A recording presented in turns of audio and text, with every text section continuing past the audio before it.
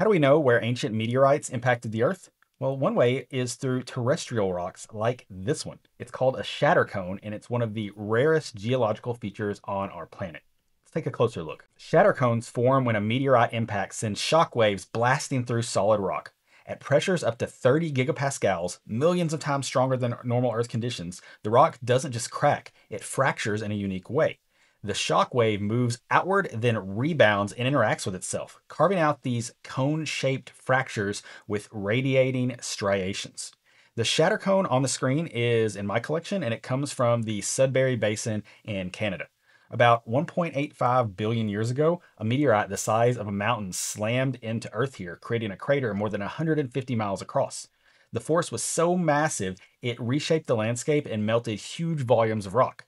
These shatter cones are the smoking gun that prove that that impact happened. So what about the meteorites that create these artifacts? In a collision this huge, most of them are completely vaporized or mixed into the molten melt sheet that covers the crater floor. What survives today isn't the space rock, it's the scars that it left behind on Earth's crust. Super unique looking, super cool artifact of our Earth's violent history.